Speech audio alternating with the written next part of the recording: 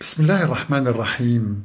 قل إن الموت الذي تفرون منه فإنه ملاقيكم ثم تردون إلى عالم الغيب والشهادة فينبئكم بما كنتم تعملون. دققوا معي أيها الأحبة على كلمة فإنه ملاقيكم. ما معنى ملاقيكم؟ تصور أن هناك موعدا مع شخص معين.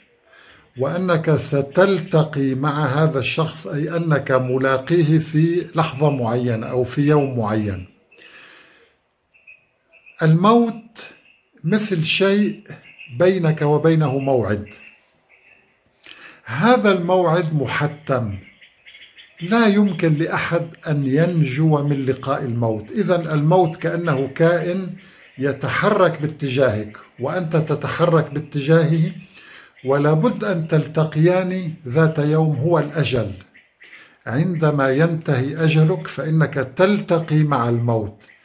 إذا ينبغي على كل واحد منا أن يصحح فكرته عن الموت وألا يعتبر أن الموت يمكن أن يحدث فجأة. الموت مفاجئ بالنسبة لنا مباغت بالنسبة لنا. ولكنه بالنسبة لعلم الله معلوم ومحدد في أجل محدد.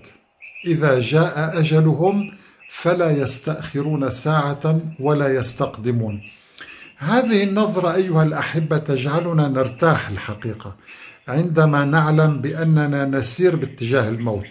فتجد أننا نهدأ عندما نفكر بهذه الطريقة نهدأ ونعلم أن الموت لابد أن يحدث ولابد أن نلتقي مع الموت وأننا سنرد إلى الله.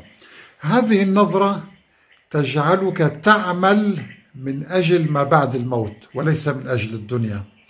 هذه النظرة تريحك وتذهب عنك الهموم لأن الموت هو اللحظة التي ستنتهي فيها هذه الهموم ستنتهي المشاكل ستنتهي الأمراض والأوجاع والظلم والأذى وكل هذا سينتهي مع الدنيا وستبدا ستبدأ مرحلة جديدة هي مرحلة الفرح.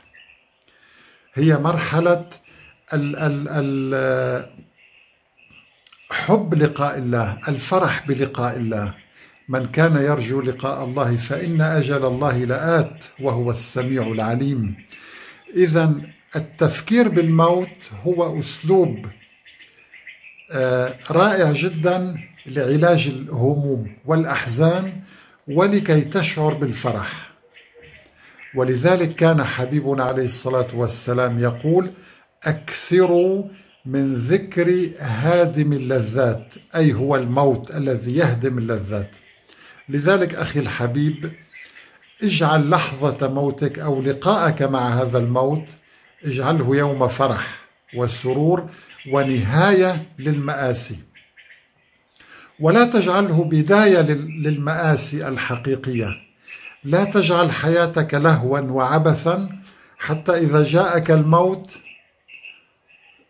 طلبت من الله الرجوع إلى الدنيا وهذا لن يحدث. لذلك اعملوا أحبتي في الله. لما بعد الموت وأكثروا من ذكر الموت لتعيشوا حياة كلها فرح لأن لحظة الفرح الكبرى ستكون يوم لقاء الله. نسأل الله سبحانه وتعالى أن نكون ممن يرجون لقاء الله والحمد لله.